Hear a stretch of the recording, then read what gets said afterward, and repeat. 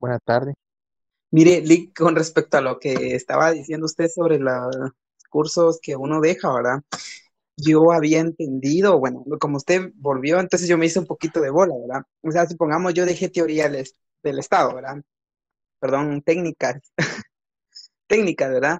Eh, quiere decir que yo entonces, eh, no, o sea, si yo no lo gano en las dos recuperaciones y me voy a escuela, o sea que entonces yo, si yo pierdo ese curso, ¿verdad? O sea, yo no me puedo examinar de los otros tres, cuatro cursos. No, mira, de nuevo, Johnny, hay, hay, hay, un principio básico que ustedes tienen que aplicar.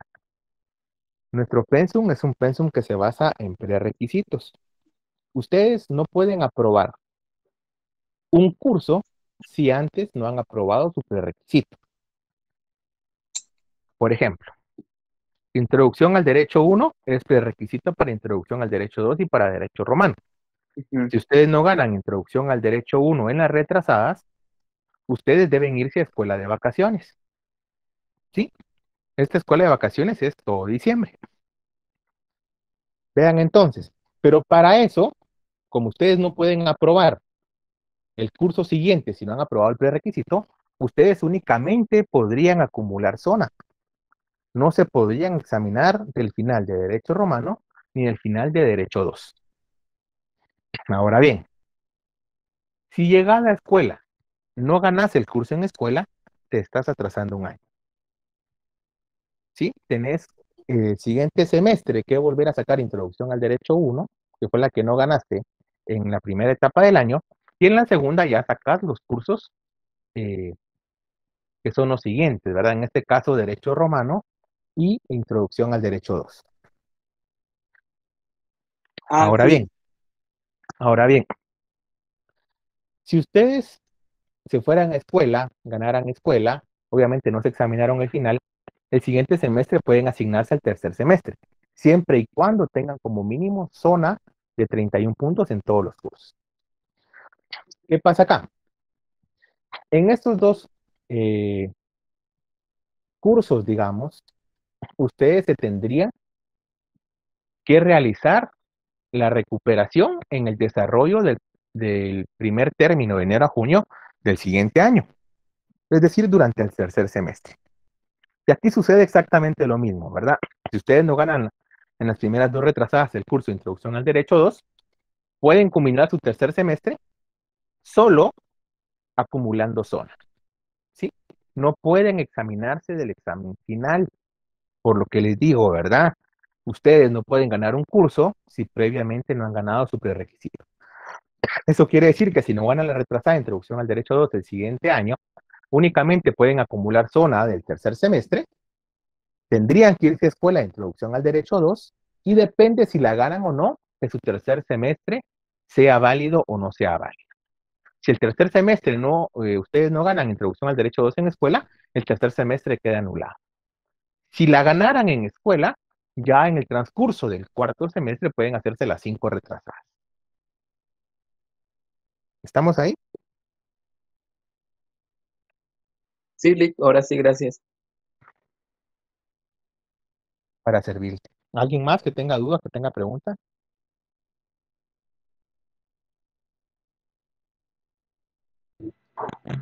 Licenciado, buenas noches. Buenas noches, Carolina, y luego el siguiente compañero, ¿sí? Eh, perdón, licenciado, mi nombre es eh, Carolina Rodríguez y le, comento, eh, lamentablemente a mí me dio COVID. Gracias a Dios ya estoy libre de todo esto, ¿verdad? Pero no me pude realizar mis exámenes parciales. Y em, de hecho mi amigo habló con usted, creo yo, por, porque yo tenía la prueba, ¿verdad? Y se la mandé a él obviamente yo no podría, no, no estaba ni en las clases ni... Y realmente estaba muy mal de salud, entonces eh, yo quisiera ver si habría la oportunidad, no sé si me pueden hacer eh, el examen. Sí, Carolina, le voy a comentar. Digamos, en cada caso concreto usted tuvo que haber hablado con cada catedrático, ya que el normativo de evaluación establece un plazo a través del cual usted puede pasado el examen, solicitar el extemporáneo. ¿Sí? En otras palabras, el catedrático está obligado a examinarla si usted hizo la solicitud en tiempo y siguiendo los requisitos que establece el normativo. Supónganse usted que si usted no hizo el examen ahorita en métodos y técnicas y no presentó la solicitud dentro del plazo, ya queda a criterio del catedrático si le examina o no. Porque usted incumplió lo que establece el normativo. Yo entiendo el tema del COVID y, entiendo lo, que usted me está mencionando. Únicamente le estoy diciendo yo cómo lo establece el normativo. En mi caso, pues no habría problema. Usted tiene que presentar la solicitud de examen extemporáneo, hoy es el último día, y debe adjuntar la constancia médica respectiva, ¿verdad? Oh, bueno, está bien, entonces. Y en, en, los demás casos, pues ya sería que practicara con cada catedrático, a ver qué determinación toma cada uno, porque para los demás exámenes el tiempo sí ya está vencido. Sí, de hecho sí ya me examiné de filosofía, pero eh, como le digo, yo hasta este lunes es que me pude sentir un poco mejor porque sí, de hecho sí estuve, me vi muy mal, entonces es por ello que no podía ni siquiera comunicarme con nadie, ¿verdad? No, si no sabe qué puede hacer. Eh, yo vi que me escribió por WhatsApp, le estaba contestando. Al finalizar esta clase, eh, le voy a mandar los correos de la facultad. Entonces usted se pone en contacto con, eh, coordinación de primer y segundo año, de primer y segundo semestre, perdón, y les hace ver la situación. Tal vez a, a través de coordinación usted logra que los demás catedráticos le puedan apoyar y le examinen. Ah, está bien, muchas gracias, muy amable. Para servirle, Carolina. Bueno, no hay entonces preguntas como el examen parcial, ¿verdad? Podemos continuar.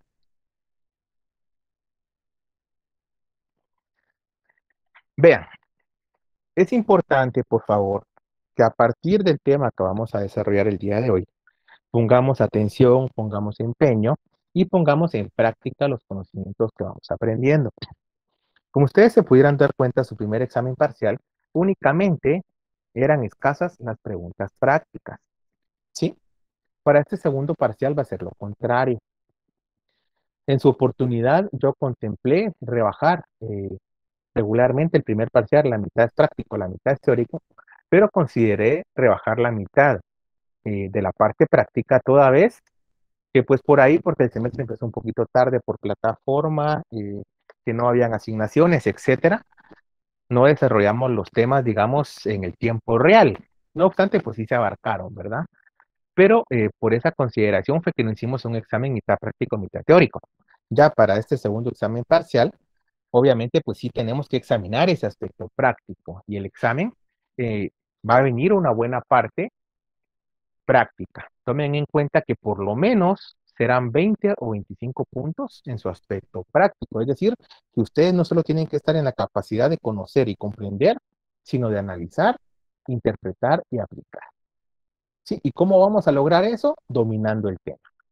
Si nosotros no dominamos el tema, imposible que lo vayamos a poder aplicar. Entonces eso requiere más esfuerzo, requiere más tiempo y requiere que lo pongamos en práctica. Obviamente pues vamos a tener un acompañamiento a través del cual vamos a ir dando ejemplos y vamos a ir explicando el porqué de las circunstancias.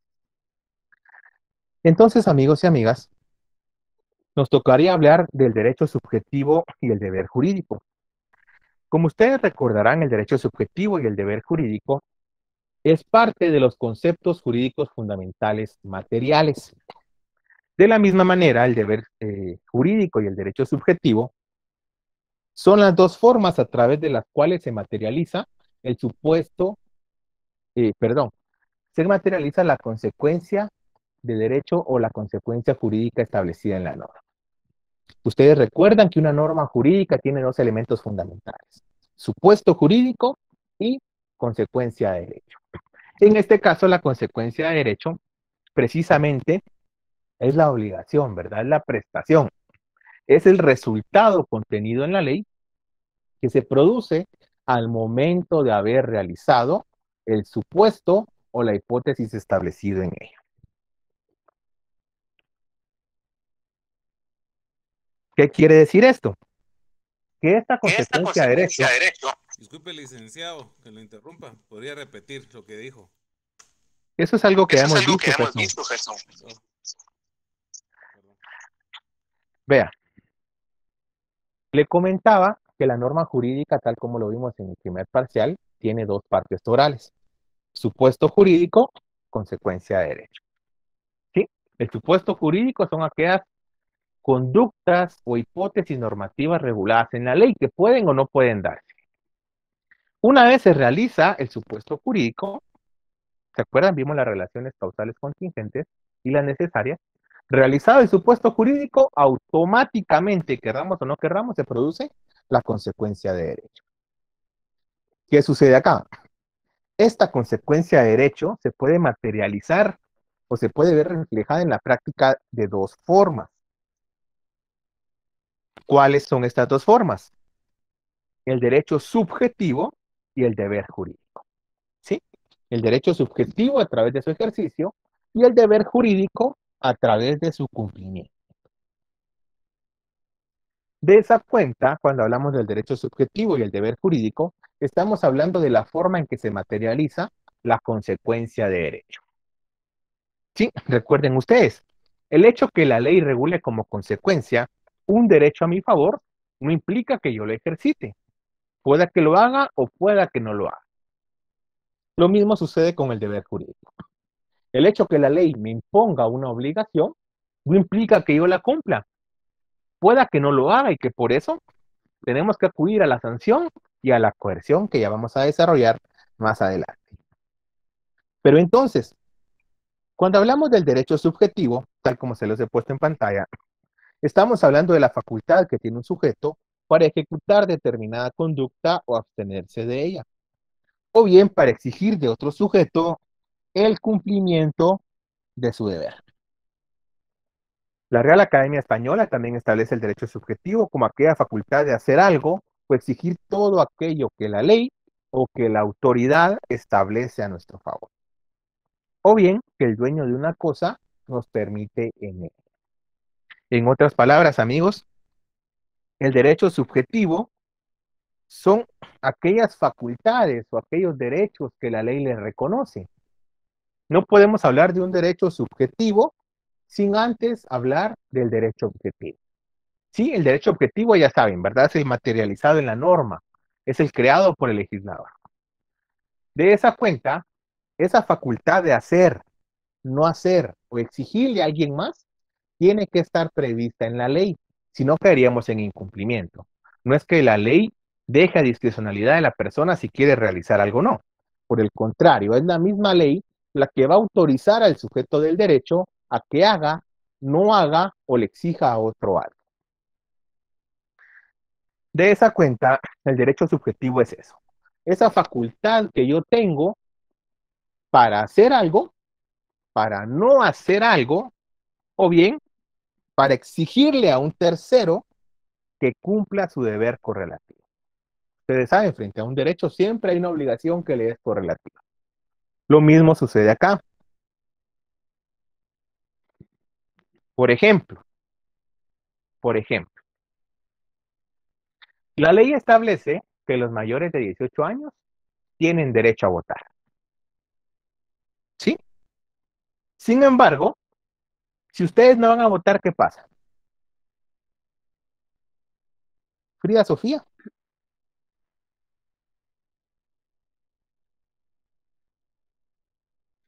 Sí, licenciado, dígame. ¿Qué sucede si usted no va a votar? Pues no estoy colaborando con el pueblo, o sea, creo que es como un voto nulo, entonces queda mal, ¿no? No, no es que sea un voto nulo, porque para ser un voto nulo, pues técnicamente se tiene que votar. Pero se lo, dan, a, se lo dan a la persona que lleva más. Creo, no estoy. No tiene ninguna sanción si uno vota o no vota. No, vea, exacto. La ley no establece ninguna sanción si tú votas o no votas. Tú puedes votar. Es un derecho que la ley te reconoce, es una facultad que se te concede con el simple hecho de tener 18 años o más. Pero si tú no vas a votar, si no te interesa la política, no pasa nada. Eso es un derecho subjetivo. Pero ojo, en este caso es la misma ley la que le permite a la persona decidir si va a votar o si no ejerce el derecho a voto. Lo mismo sucede con el derecho a elegir y ser electo. Todos tenemos derecho a participar en política. Sí, siempre y cuando pues llenemos los requisitos para el puesto al que nos queramos tirar o lanzar. De esa cuenta, de esa cuenta, si nosotros no queremos participar en política, no pasa nada. La ley no nos va a sancionar la ley no va a establecer una infracción a nuestro favor, a nuestra contra. perdón. Y si lo hacemos tampoco, la persona se encuentra en la discrecionalidad dada por la ley para decidir si realiza algo o si omite algo. Lo mismo sucede, supongamos eh, que a Gerson yo le presto 10 mil quetzales. ¿Sí? Gerson me dio en garantía su vehículo. Gerson ya lleva tres meses y no me ha pagado. Ya automáticamente, ilegalmente, podría quitarle su vehículo y pasarlo a mi. Sin embargo, la misma ley me permite a mí tomar esa decisión. Es decir, si yo ejecuto la garantía que Gerson me dio o si no lo hago. Si la ejecuto, obviamente pues tenemos un contrato el cual me permite y me faculta hacer eso. Pero si no lo hago, yo le quiero dar un mes más de espera, le quiero dar 15 días o le quiero dar un eh, más plazo, no sé, no sucede nada, la ley no me va a sancionar. Eso es el derecho subjetivo. Es esa facultad que la ley nos da para que realicemos o no la conducta prevista en la norma. O bien para que exijamos a otro el cumplimiento de su deber. Esto quiere decir que el derecho subjetivo tiene tres momentos. El hacer o cumplir lo que la ley establece. Segundo, el omitir, dejar de hacer o dejar de dar. Y tercero, el exigirle a otra persona distinta a nosotros que cumpla su obligación o su prestación. ¿Sí? Recuerden que la omisión, hago la aclaración, la omisión es una forma de conducta. Nosotros podemos actuar a través de la acción o a través de la omisión, legalmente hablando. Si yo soy funcionario público, tengo conocimiento de un delito por razón de mi cargo y no planteo la denuncia, en este caso, a través de mi omisión, yo estoy produciendo consecuencias jurídicas. Lo mismo sucede en el caso de que yo encuentre a un menor desvalido y no le presto ayuda. Yo estoy cometiendo un ilícito penal, la omisión de auxilio. Si yo estoy obligado a pagar pensión alimenticia y no lo hago, yo estoy, a través de mi omisión, incurriendo en un ilícito penal. En este caso, la negación de asistencia económica. Sí, podemos actuar tanto a través de la acción como a través de la omisión. Y en este caso el derecho subjetivo tiene esos tres momentos. Hacer, realizar o dar algo. Omitir, dejar de hacer o dejar de dar algo. Y tercero, exigirle o no a un tercero que cumpla su obligación. Pero ojo, en este caso la decisión siempre va a ser de la persona que es titular del derecho subjetivo. ¿Estamos bien con esto?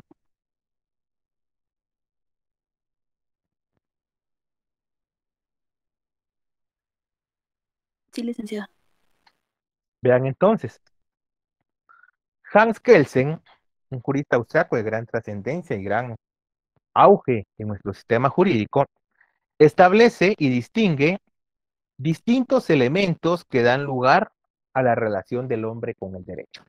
Y él dice que esta relación con el derecho se da por tres elementos fundamentales, elementos de pasividad, elementos de actividad y elementos de negatividad. En el primer caso, los elementos de pasividad. Aquí el hombre se va a encontrar sometido a las normas jurídicas. Es decir, su conducta siempre va a estar encaminada o va a tender al cumplimiento de la obligación contenida en la norma. Si la persona va a ser respetuosa de la ley, se va a mantener al margen de la ley, estableciendo y cumpliendo los mandatos de la misma. Cuando hablamos de un elemento de actividad, aquí el hombre o la persona o el sujeto de derecho produce derecho, participa en la creación de las normas jurídicas. Eso quiere decir que su conducta va a aparecer como el ejercicio de un derecho subjetivo. Cuando hablamos de un elemento de negatividad, aquí la persona o sujeto del derecho pues no tiene mayor relación frente a las normas. En este caso, tiene la libertad de ejecutar u omitir los actos no exigidos en la ley. ¿Sí? Aquí aplica, digamos, aquel principio que dice el artículo 5 de la Constitución, que todos podemos hacer lo que la ley no prohíbe. Caso contrario, yo no estoy obligado a hacer lo que la ley no regule. ¿Sí? Yo no estoy obligado a hacer lo que la ley no regule.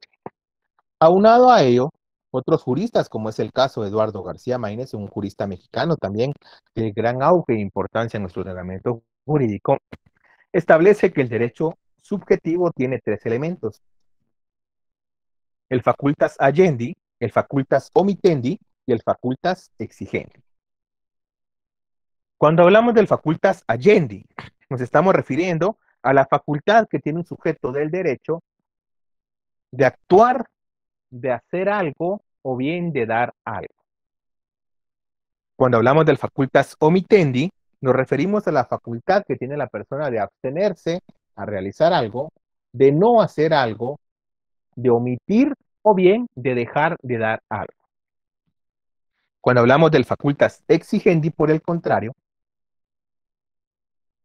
nos estamos refiriendo al tercer elemento. La persona tiene la facultad de exigirle o bien pretender exigirle a otro sujeto del derecho que cumpla su obligación correlativa. Cuando hablamos siempre del derecho subjetivo, existen ciertas formas doctrinarias en que éste se manifiesta. Sí, en términos generales ya sabemos que es esa facultad de hacer, omitir o bien exigirle a un tercero algo. Pero sabemos que esas tres facultades están previstas y reguladas previamente en la ley. Si no, estaríamos ante un incumplimiento de la norma. Vean entonces, doctrinariamente existen cuatro formas en que se puede manifestar el derecho subjetivo. La primera de ellas, como un derecho de libertad. Cuando nos referimos al derecho subjetivo como un derecho de libertad, en este caso, el titular del derecho subjetivo, o sea, la persona a cuyo favor se establece un derecho, la persona que puede hacer, omitir o exigirle a alguien más algo, él es el titular del derecho subjetivo. En este caso, el titular del derecho subjetivo puede optar entre ejecutar o no la conducta a la que se refiere la norma jurídica. ¿Sí? ¿Cuál podría ser un ejemplo de ello? Le repito, el titular del derecho subjetivo puede optar o decidir libremente si ejecuta o no la conducta que establece la norma jurídica. ¿Cuál podría ser un ejemplo de ello?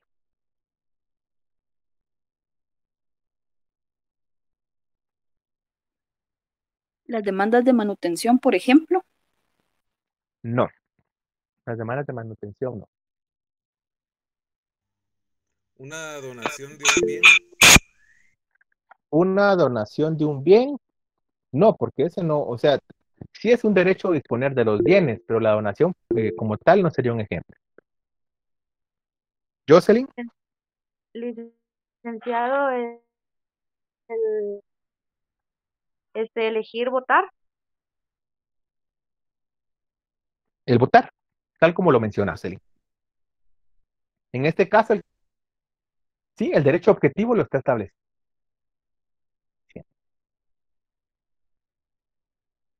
Sin embargo, si nosotros ya lo hacemos valer o no lo ejercitamos, funciona por su incumplimiento. Ese podría ser un ejemplo de como un derecho de libertad. Lo mismo sucede con el derecho una vez política y optar un cargo público. Sin embargo, la persona libremente decide si participa o no participa. Otro ejemplo podría ser el caso de las jubilaciones del IX o la ONSEC. La ley establece que aquellas personas que trabajen cierto tiempo y que tengan cierta edad eh, pueden jubilarse, ¿verdad? Es decir, ya no trabajar y que el Estado o el IX les pase una pensión para su subsistencia. Ojo, ya se ha establecido en varias sentencias constitucionales que la edad establecida para jubilación únicamente abre la puerta a la persona para que se pueda retirar y gozar de este beneficio. Pero si la persona no se quiere jubilar, no pasa nada. Si yo llego a la edad y al tiempo de servicio establecido y quiero seguir trabajando, es un derecho que yo tengo. ¿Sí? Ahora, si yo quisiera jubilarme, también es un derecho que yo tengo. Cuando hablamos del derecho subjetivo como un poder jurídico, en este caso, el titular del derecho subjetivo puede crear nuevos derechos y nuevas obligaciones mediante el ejercicio de la autonomía de la voluntad. ¿Sí? Y aquí si ponemos el ejemplo que nos dio Gerson, una donación. Si a mí me donan un bien, automáticamente yo puedo decidir, a pesar de que sea gratis, hay casos, yo he visto casos, se los prometo, donde las personas no aceptan. Sin embargo, también puedo, puedo decidir aceptar la donación que me están haciendo. ¿Cuál podría ser otro ejemplo? ¿Cuál podría ser otro ejemplo? Eh, ¿Una deuda, licenciado? Una deuda, pero expliquémosla. Le tenemos que dar el contexto y el enfoque. Okay, Solo la deuda no sería un ejemplo. Eh, supongamos que no me pagan, entonces yo podría eh, como que aumentar el, el plazo o los intereses. Ese fue un ejemplo que usted dio en el semestre pasado. Sí, pero no, no sería un ejemplo, digamos, del derecho, o sea, sí es un ejemplo de derecho subjetivo, pero no en su manifestación como poder jurídico. Ah, ok. ¿Cuál podría ser un ejemplo? Vean. La ley establece, en el caso del trabajo, que aquellas damas que se encuentren en estado de gravidez tienen derecho al periodo prenatal al periodo postnatal y posteriormente tienen derecho durante un año a alimentar a sus hijos menores, eh, pues dos medias horas al día, ¿verdad? Eso quiere decir que si yo como patrono contrato a una dama, yo sé que en cualquier momento ella puede adquirir este derecho subjetivo, que lo puede gozar o no, ojo, ¿sí? Sin embargo, es un derecho que ella tiene. Al momento de que ella queda embarazada, yo ya tengo que darle permisos para ir al médico, tengo que ponerle cargas de trabajo más consideradas, etcétera, ¿verdad? Al momento en que da luz, yo tengo que darle el periodo postnatal, es un derecho que ya tiene. Pero en este caso, se están creando derechos y obligaciones mediante el ejercicio de la autonomía de voluntad. Primero, porque yo no la obligué a que trabajara para mí. ¿Sí? Recuerden que el trabajo, pues, es un acuerdo de voluntades que se da entre patrono y trabajador. Entonces las dos partes voluntariamente acordaron contratar el trabajo. Ese podría ser un ejemplo de ello. Lo mismo sucedería si supónganse yo eh, dono mi vivienda, tal como lo dijo Gerson, y establezco un usufructo vitalicio. En este caso, mediante la autonomía de la voluntad, porque libre y voluntariamente yo estoy donando mi bien, yo lo estoy entregando a otra persona gratuitamente, pero aquí surgen nuevos derechos y obligaciones, porque como tiene un usufructo vitalicio, yo puedo vivir en el bien, no obstante se lo haya trasladado en propiedad a otra persona hasta que fallezca. ¿Sí? Como una pretensión. El derecho subjetivo como una pretensión, en este caso el titular del derecho subjetivo, puede exigir de otro sujeto el cumplimiento de su deber jurídico correlativo. Vean, aquí si ponemos el ejemplo que decía Leslie eh, de los alimentos. Porque en este caso, yo tengo la discrecionalidad que me da la ley para decidir si le exijo a la otra persona los alimentos o si no lo hago. ¿Sí? No es que sea un derecho de la madre, es un derecho del menor ejercido a través de la madre o ejercido a través del padre, porque son incapaces. Pero en este caso es el que tiene la patria potestad quien decide si exige alimentos o si no exige alimentos. ¿Sí? Lo mismo sucedería en aquel caso que el padre no ha reconocido al hijo. En este caso, la madre puede decidir en representación del hijo si demanda al padre o no para establecer su paternidad. Otro ejemplo, aquí sí podría ser el de la deuda, Daniel. Si yo te presto una cantidad de X de dinero y te atrasas en el pago, yo decido si ejecuto la garantía que me diste o bien si te concedo más tiempo, extendemos la deuda o la renegociamos. Por eso es una decisión que yo tengo. ¿Cómo puedo diferenciar entonces si nos encontramos ante un derecho subjetivo como un derecho de libertad o un derecho subjetivo como una pretensión? Es que en el primer caso, amigos, como un derecho de libertad, es la misma persona la que decide si ella realiza la conducta, si ella omite la conducta. Cuando hablamos del derecho subjetivo como una pretensión, ya nos encontramos con la participación de un tercero, porque en este caso yo decido si le exijo o le requiero a un tercero distinto el cumplimiento de su obligación. Y en el caso de un poder jurídico, pues aquí ya interviene la autonomía de la voluntad, ¿verdad? Las partes libremente deciden crear derechos y obligaciones. Jocelyn y luego Daisy. Perdón, se me activó. No tenga pena. Daisy.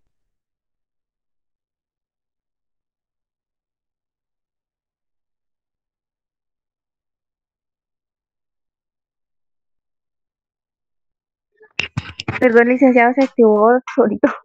No, tenga pena. Vean, ahora bien, prestemos atención a esto. Como derecho de cumplir el propio deber. Ya mencionamos que en los tres casos anteriores, la figura primordial es el titular del derecho subjetivo, o bien el acreedor, ¿verdad? La persona a cuyo favor existe un derecho.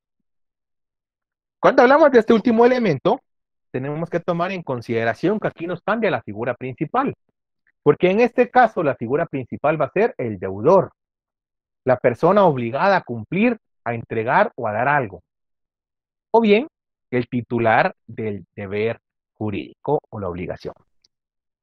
Vean entonces, desde esta perspectiva del derecho subjetivo como un derecho de cumplir el propio deber, el obligado o el titular del deber jurídico, es decir, la persona que se le ha impuesto un deber, tiene el derecho de cumplir su obligación, pero también tiene el derecho de solicitar que nadie interfiera en el cumplimiento de su deber. Es decir, tiene el derecho de que le permitan cumplir su obligación, que nadie se lo impida. ¿Cuál podría ser un ejemplo de esto? ¿Alguien de acá ha alquilado alguna vivienda, ha alquilado alguna casa, algún apartamento?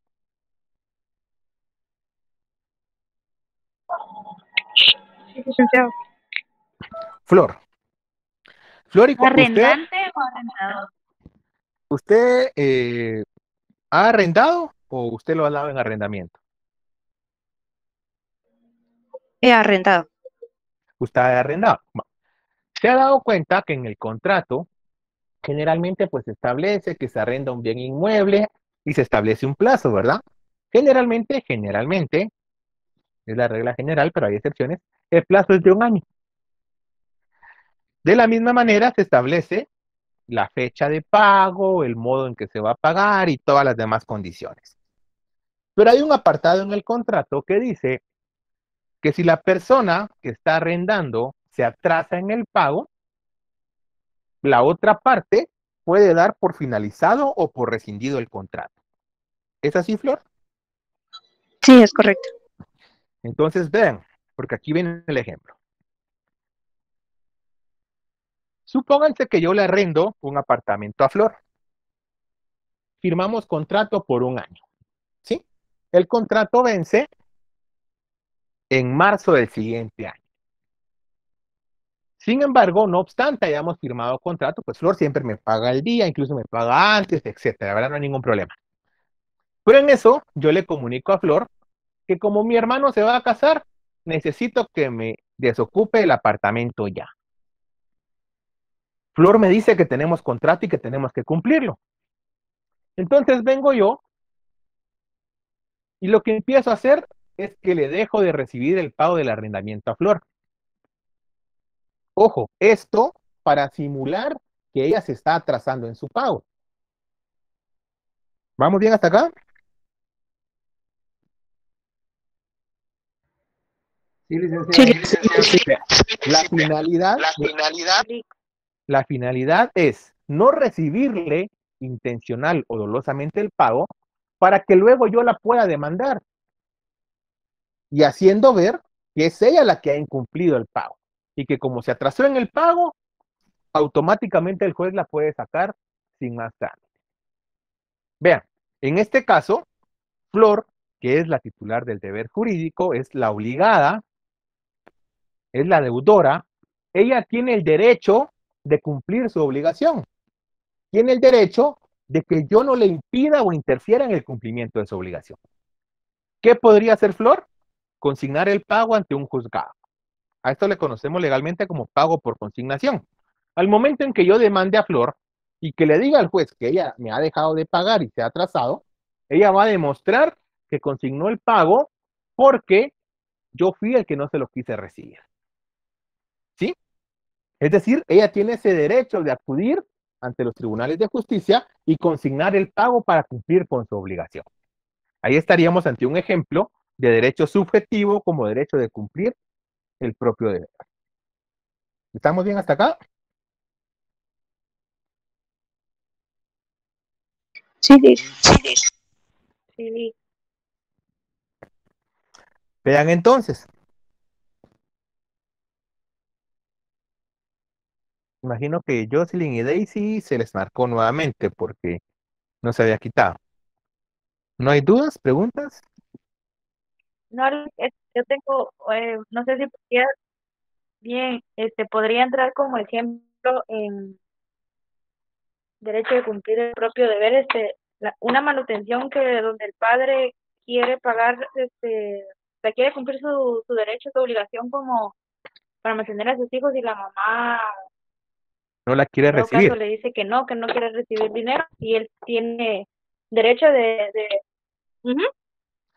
Vean, les, voy a poner un ejemplo de un caso que vi, eh, esto fue el año pasado, le pasó precisamente a un amigo que es abogado. Él, eh, pues su pareja, ellos no estaban casados, solo estaban unidos, su pareja quedó embarazada, tuvieron por ahí algunos conflictos sobre varios temas, se separaron, pero quedaron en mal término. No obstante eso, ella no le permitía tener información del embarazo ni de la evolución del bebé. Este amigo lo que hizo para evitarse que ella posteriormente la demandara por pensión alimenticia o por alguna otra cosa, que le pudiera quitar la patria potestad fue que él, sin que ella se lo solicitara, le empezó a depositar eh, en su cuenta. Mes a mes le empezó a depositar. En este caso, él es el titular del derecho, del deber jurídico, perdón, de la obligación. Él tiene derecho a que nadie le impida el cumplimiento libre de su obligación o su deber. Ese es un ejemplo claro, yo sé. Pero miren, solo para que se rían un poco. Pueden creer que después esta señorita eh, le puso medidas por violencia económica en su modalidad activa. Porque ella aduce de que el hecho de que él le esté depositando es para, eh, la está coaccionando para que él pueda ver al bebé posteriormente y plantear un juicio de relaciones familiares.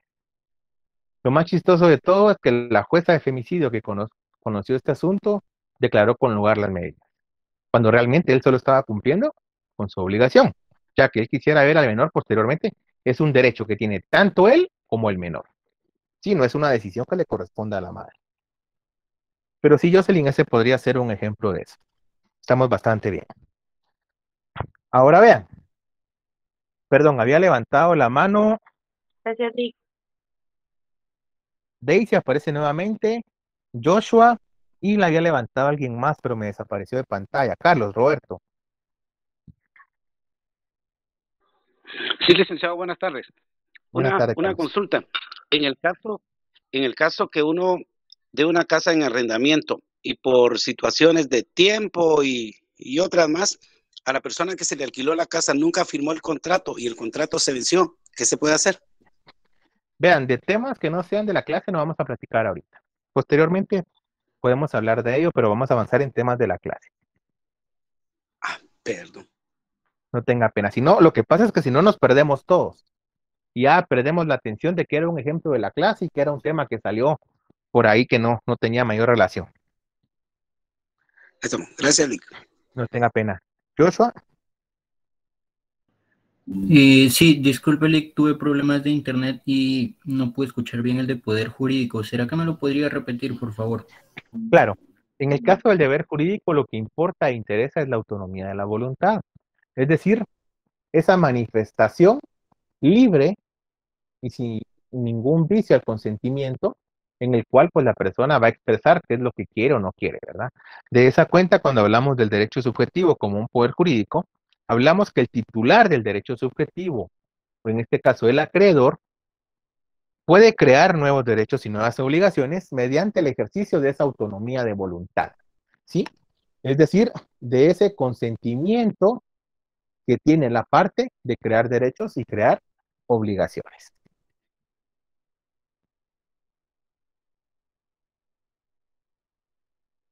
Gracias. Ahora, para servirte. Ahora bien, el derecho subjetivo tiene diversas clasificaciones. Dentro de ellas, encontramos el derecho subjetivo atendiendo a su relación con el Estado. Puede ser derecho subjetivo público o derecho subjetivo privado.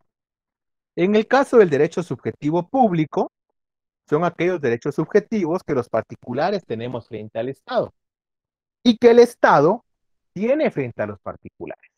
¿sí? Recordemos que lo que para una parte es un derecho, para la otra que se encuentra enfrente es una obligación y viceversa. Vean, ¿qué derechos subjetivos nosotros tenemos frente al Estado?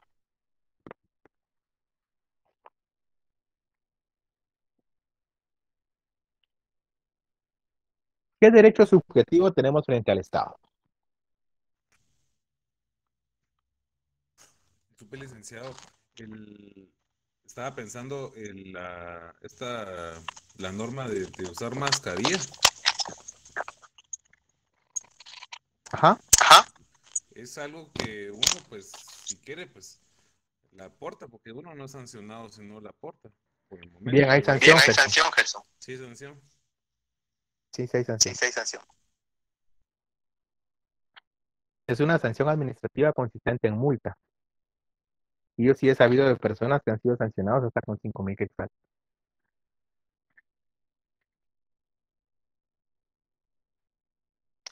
Vean, le repito, derecho subjetivo público son aquellos derechos subjetivos que los particulares tenemos frente al Estado y que el Estado tiene frente a los particulares. ¿Cuál podría ser un ejemplo? Nosotros tenemos derecho a que el Estado nos garantice la libertad, De tenemos expresión. derecho a que nos garantice la libertad de expresión, a que nos garantice el derecho de petición, a que respete nuestros derechos políticos, etcétera, ¿verdad? Lo que para nosotros va a ser un derecho subjetivo, para el Estado va a ser una obligación. Sí, tenemos derecho a la salud, a la educación, a la vivienda, etcétera. Ahora, ¿qué derechos tiene el Estado? ¿Qué derechos tiene el Estado frente a los particulares?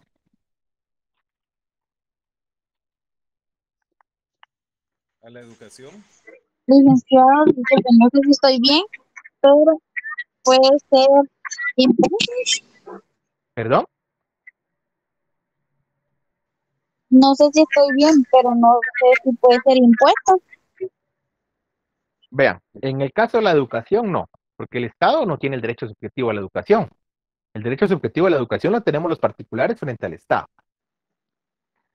¿Qué derechos tiene el Eh, Estado no, no, frente a nosotros? impuestos. Como mencionaba Leslie, el pago de impuestos es un derecho que tiene el Estado. ¿Sí? Para los particulares era una obligación, pero para el Estado es un derecho que tiene de percibir impuestos por todas las rentas imponibles que generen. ¿Qué otro derecho tiene el Estado frente a nosotros? Tiene derecho a exigirnos que lo defendamos en caso de guerra. ¿Sí? Eso está en la Constitución. Ahora, en el caso de los derechos subjetivos privados, estos son aquellos derechos subjetivos que tienen los particulares cuando actúan entre sí. O bien, cuando actúan los particulares frente al Estado, pero en igualdad de condiciones. ¿Sí? ¿Cuál podría ser un ejemplo de esto? Lo que mencionábamos de la deuda, ¿verdad? Yo le presto dinero a Nelson y Nelson se atrasa. Yo decido si le ejecuto la garantía o no. Ese es un derecho subjetivo entre particulares, no interviene el Estado. O bien, decíamos que intervenga el, el Estado, pero en igualdad de condiciones. Si yo le arrendo un bien inmueble al Estado para oficinas y el Estado se atrasa, yo decido si ejecuto la garantía, yo decido si le cobro mora, etc. Allá estamos actuando en igualdad de condiciones. Atendiendo al sujeto del derecho, atendiendo al sujeto del derecho, pueden ser relativos y absolutos. En el caso de los relativos, ojo, en el caso de los relativos, estos se dan cuando el derecho subjetivo recae sobre sujetos concretamente identificados. Sí, es decir, sobre personas o sobre un grupo de sujetos en específico, que son susceptibles de ser identificados o concretizados. Cuando hablamos de los absolutos, estos derechos subjetivos obligan o recaen sobre la generalidad. Es decir, los podemos hacer valer frente a todos. ¿Cuál podría ser un ejemplo de relativos? ¿Sí? El derecho que tiene el menor de edad a recibir pensión alimenticia. Ese es un derecho que solo le puede reclamar el hijo a su padre y nada más.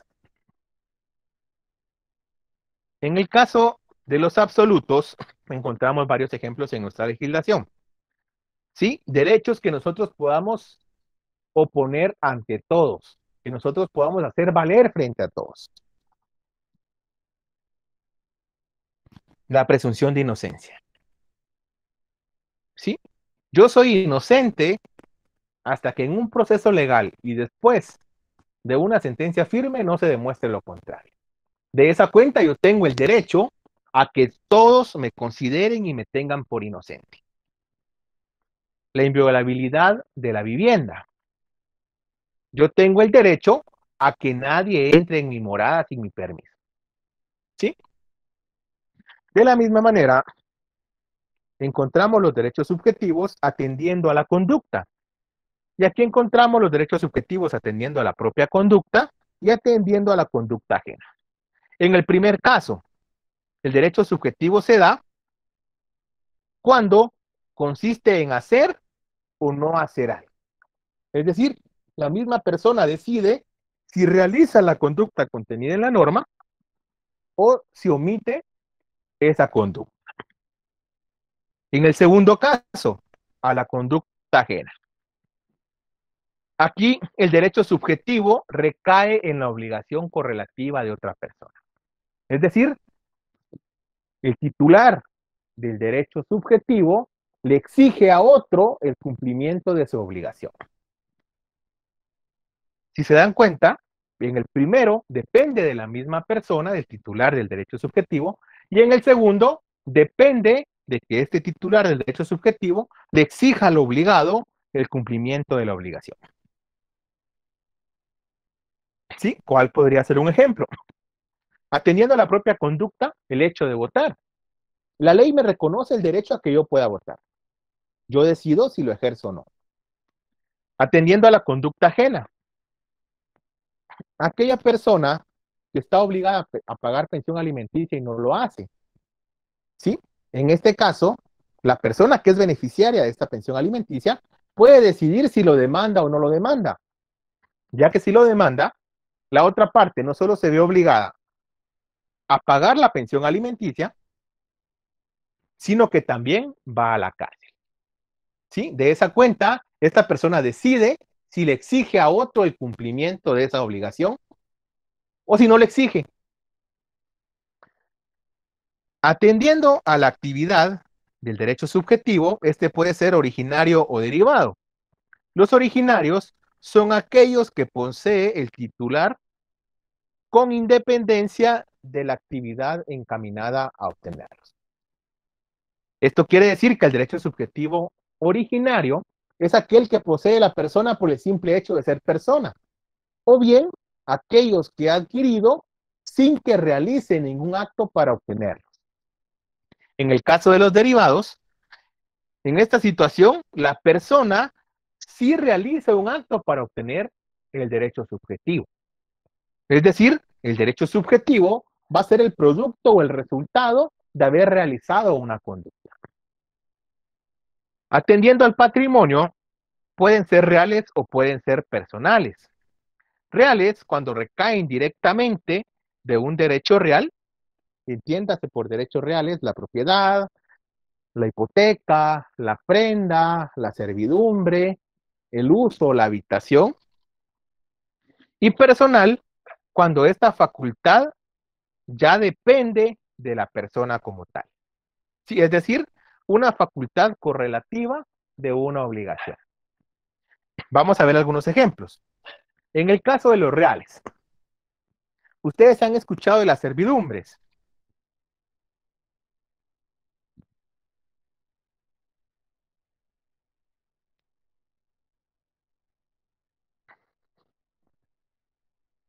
¿Quién ha escuchado de las servidumbres? Sí, Lick. ¿Qué son las servidumbres, Roselyn? Eh, son las personas así, yo al menos yo lo veo como del punto de mm, mayordomo, los que trabajan en una casa. No, Roselyn. Ten- tenemos, tenemos que ver desde la perspectiva de lo que estamos hablando. Legalmente eh, es una cosa y coloquialmente es otra, porque estamos hablando a la clasificación del derecho subjetivo atendiendo al patrimonio. Y dijimos que los reales recaen sobre un bien, recaen sobre la propiedad o algún derecho real. ¿Alguien más que ha escuchado de la servidumbre? ¿Es el trabajo forzado? No, tampoco. Vean.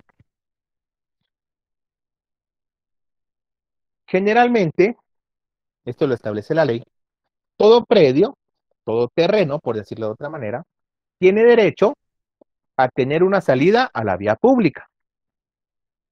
¿Sí? Todo terreno tiene derecho a tener una salida a la vía pública.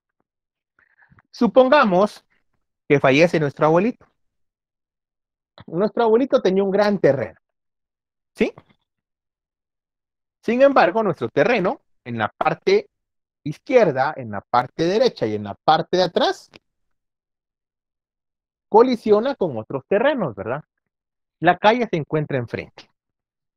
Somos tres hermanos. Nuestro abuelito divide el terreno en tres.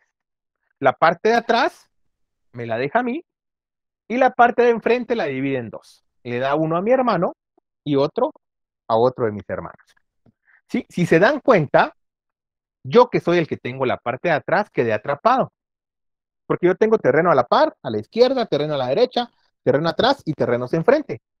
Pero yo tengo que tener salida a la vía pública. La servidumbre precisamente es ese derecho real que establece que los otros predios deben ceder parte de su terreno para que el que se encuentra atrapado salga a la vía pública. ¿Sí? ¿Ya tenemos una mejor idea de la servidumbre? Sí, Lick, yo tengo una duda respecto a eso, ya le capté lo que es lo de la Pero, servidumbre. pero no nos, permíteme, Roselyn, después la resolvemos, si no nos perdemos. Vean entonces, ese derecho que tengo yo de salir a la vía pública porque estoy atrapado, ese derecho que tengo de exigirle a los dueños de los terrenos que están enfrente que cedan parte del terreno para que yo pueda salir, ese es un derecho subjetivo real, porque recae sobre la propiedad, recae sobre un derecho real. ¿Sí? Ustedes han visto por ahí en algunos momentos que van en algunos lugares y dicen que las calles son tan estrechas, son tan pequeñas, porque son callejoncitos donde solo cae un carro. Eso no es que sean calles, Eran grandes fincas que se fueron desmembrando y fueron estableciendo servidumbres de paso. ¿Sí? Ese puede ser un ejemplo de los reales. En el caso de los personales, la obligación recae sobre una persona, o sea, el derecho subjetivo recae sobre una persona. ¿Cuál podría ser un ejemplo de esto? Lo que yo les mencionaba de la jubilación.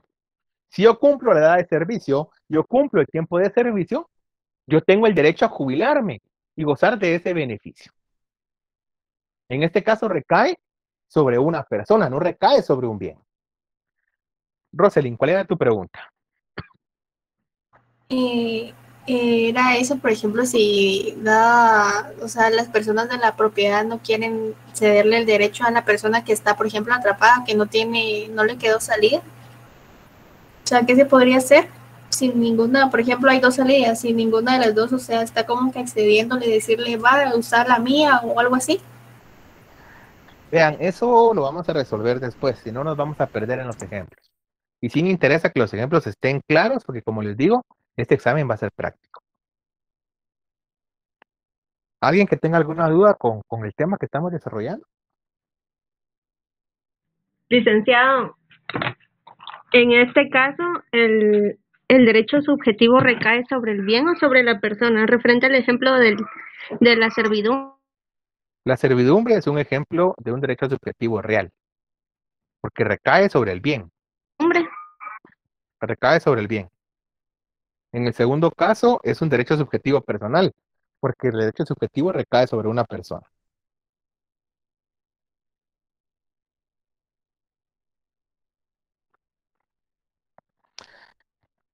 Vean, estos son los derechos, este es el derecho subjetivo y sus distintas manifestaciones y clasificaciones. La siguiente clase vamos a desarrollar el tema del deber jurídico y eh, ya sea que veamos el objeto del derecho o la relación jurídica. Esto lo digo por si ustedes quieren investigar, si quieren adelantar, ya pues pueden investigar el tema para plantear dudas la siguiente clase.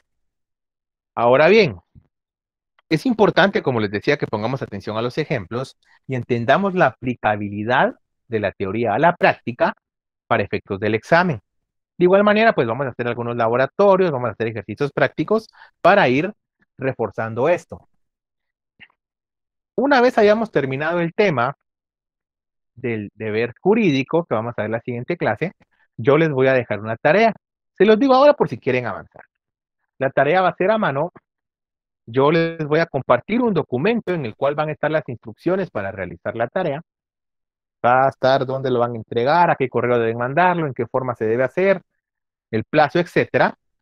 Eh, la tarea va a ser para el día miércoles siguiente, donde vamos a dar un ejemplo, en este caso, del derecho subjetivo y sus distintas manifestaciones, es decir, un ejemplo del derecho subjetivo como una pretensión, un ejemplo del derecho subjetivo como el derecho de cumplir el propio deber, un ejemplo del derecho subjetivo como un derecho de libertad, como un poder jurídico, etcétera, ¿verdad? Y una, un ejemplo de cada una de las clasificaciones del derecho subjetivo.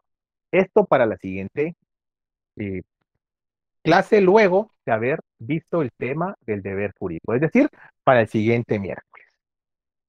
Ya el viernes yo les estaré compartiendo el documento donde va a constar la tarea, todas sus instrucciones, para que ustedes la puedan realizar. Ahora sí, ¿alguien tiene alguna otra duda relacionada con el tema que vimos hoy?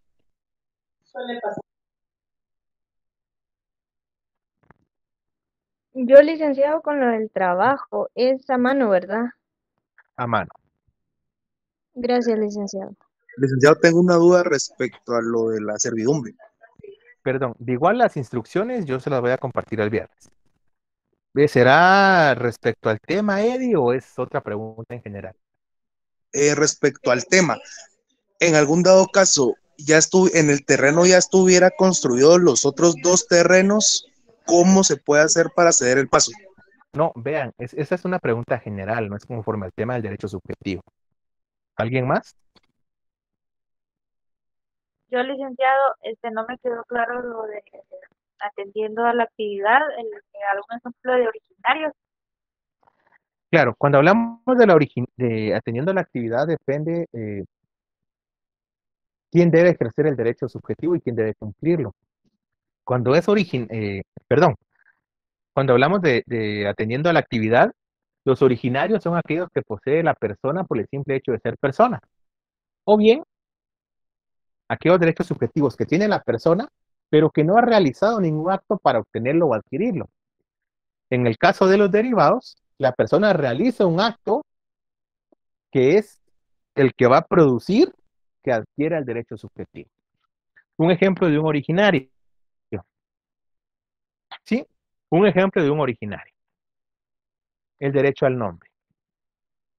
La persona desde su concepción tiene derecho al nombre. La persona no realizó ningún acto para tener derecho al nombre. Lo tiene por el simple hecho de la concepción. ¿Sí? Un derivado. ¿Cuál podría ser un derivado? En el caso de la mujer o la dama trabajadora. Porque para tener derecho al periodo postnatal y al periodo prenatal, pues primero ella tuvo que contratar su trabajo. Si ella no contrata su trabajo, no adquiere ese derecho subjetivo. Posteriormente, ella tiene que estar en estado de gravidez. Porque a pesar de que sea mujer, a pesar de que sea trabajadora, si no se encuentra en estado de gravidez, no adquiere ese derecho.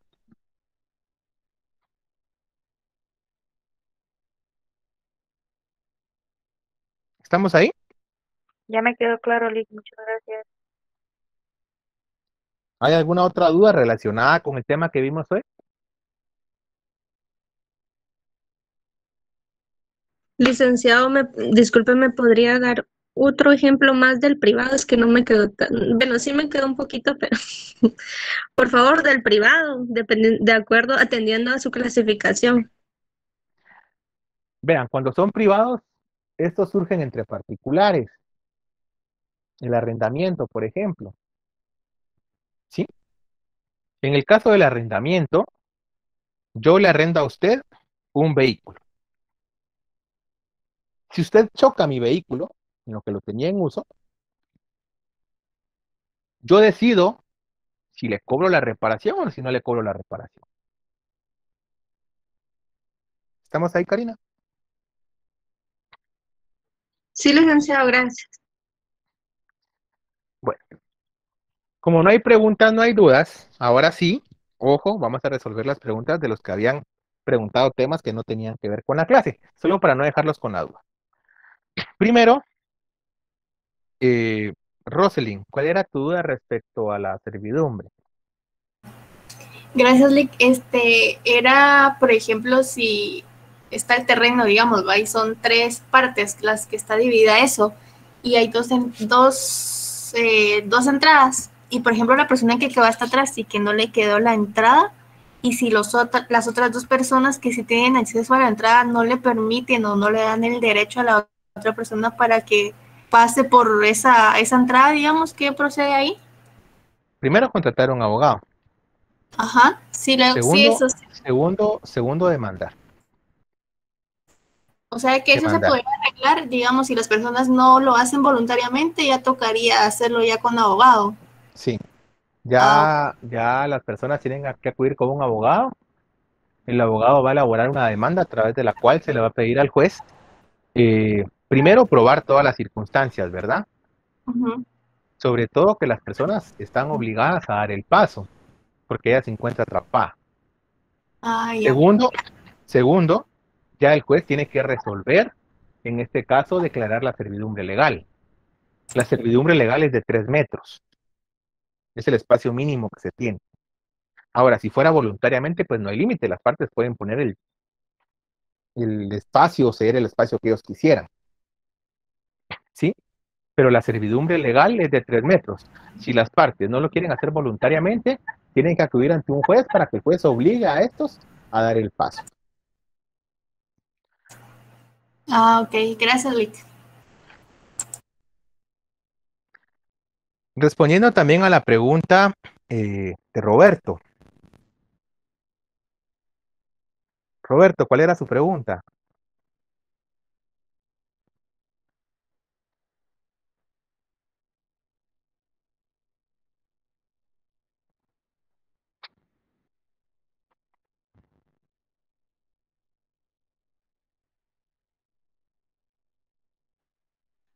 Sí, licenciado, era respecto al, al tema de un contrato que no se logró firmar al arrendar una casa por diferentes razones y el plazo se venció.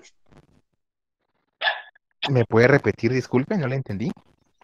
Eh, se, se arrendó una casa, ¿verdad? Pero la persona a la que se le arrendó nunca firmó el contrato porque nunca se podía localizar. Y el Bueno, contrato, pero si nunca se firmó el contrato, ¿cómo se puede haber vencido el plazo? Porque sí estaba establecido en el, en el contrato, pero nunca se localizó la persona para que lo firmara. Mire, el, el problema es que si usted no firma nada, no está obligado a nada. O sea, el plazo no existía. Ah, muy bien. Gracias. Ahora, Nick. ahora, si lo que usted quiere saber es qué pasa si el arrendamiento se ha de hecho sin la firma del contrato, no importa, las personas se pueden obligar de palabra. ¿Sí? Uno. Dos, la ley estipula, digamos, algunos casos en que sí se deben reunir con estos algunos formalismos, como es el caso de que la renta se pague anticipadamente por un año, que el arrendamiento sea superior a los tres años o que sea el bien de un menor. Pero en estos casos son muy específicos y muy especiales, que sí necesitan el contrato para su validez. Ahora, en aquellos casos donde yo di en arrendamiento un bien y nunca se pudo firmar el contrato, pues obviamente sí existe un contrato verbal. Ojo, el problema acá es que al momento de que surja algún inconveniente, yo tengo que probar la existencia de ese contrato verbal. Y también hay formas, ¿verdad? Testigos, rentas, movimiento del dinero, etcétera. Pero el hecho de que no haya un contrato escrito no quiere decir que el negocio jurídico no existiera. Muy bien, gracias, licenciado. Para servirle. Ahora sí, Eddie, tu pregunta.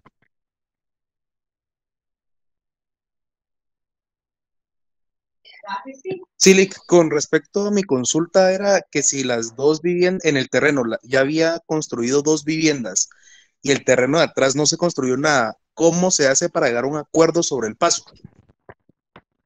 Vean, el acuerdo es voluntario. Sí, la misma palabra lo dice y lo denota. Consenso de las partes. Eso es un acuerdo. Si no hay consenso de las partes, se va ante un juez. Y el juez es el que va a resolver. Si estuviera construido el lugar donde el juez establece el paso, hay que demoler.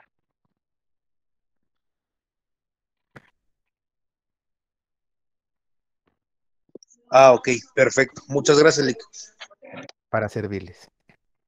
Ojo, y esto puede hacer también que la otra parte pida una compensación por la demolición. También puede ser. Pero esto ya habrá que planteárselo al juez y ya el juez decidirá. Leticia había levantado la mano. Sí, gracias, licenciado. Buenas noches. Eh, mi duda, disculpe, es en relación al caso que nos eh, estaba comentando de su colega eh, con respecto a la demanda que le hizo la, bueno, la, mamá de, su, de su hijo. Se me hace pues un poco atípico y algo un poco fuera de lógica. Yo quisiera saber si no el derecho del menor prevalece ante el derecho de la mujer.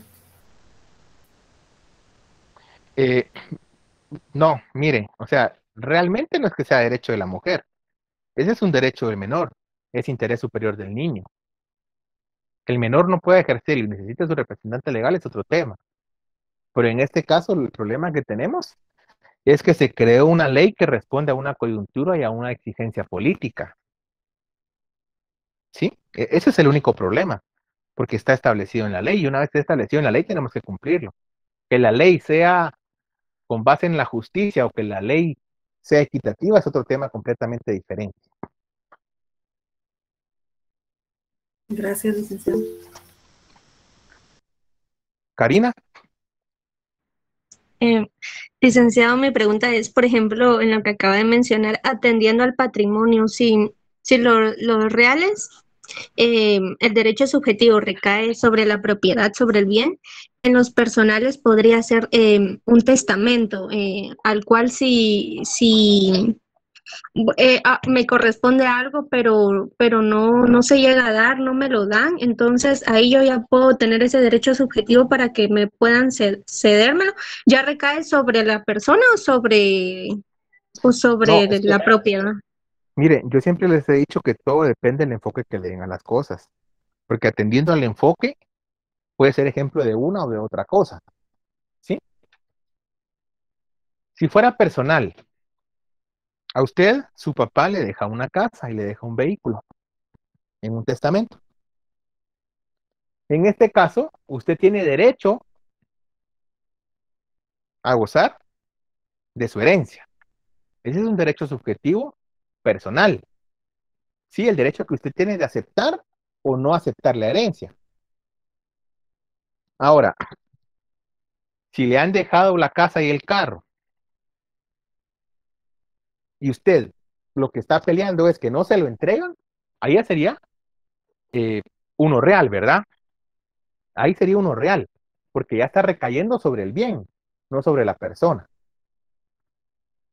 Si usted lo que quiere hacer es uso y disfrute de los bienes que le dejaron, ya es real, porque recae sobre el bien, sobre la propiedad, con todos los derechos propios de la propiedad.